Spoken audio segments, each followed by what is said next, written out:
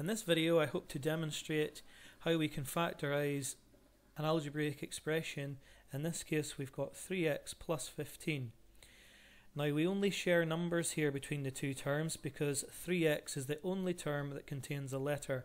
So we're only focusing on taking out the biggest number that we can that can divide into 3 and 15. A useful way to find the highest common factor or the biggest number that can fit into a 3 or a 15 is to look at the factors. So 3, and a nice way to do this is to think of the times table pairings that work to make 3.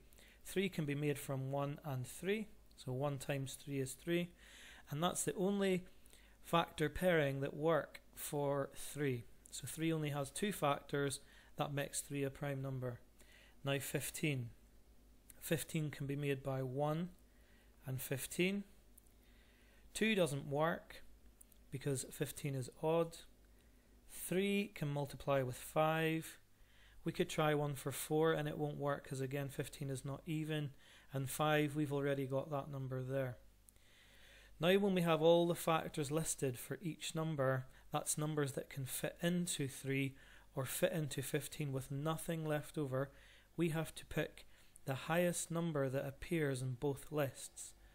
And in this case it's 3.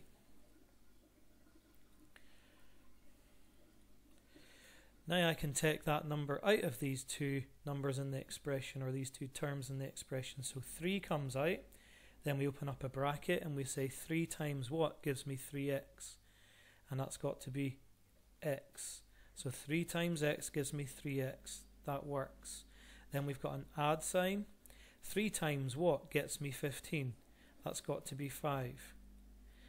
This is our final answer. And just checking that works, 3 times 5, 15. So 3x plus 15 can be written in factorized form with 3 bracket x plus 5 close bracket. And that's your final answer.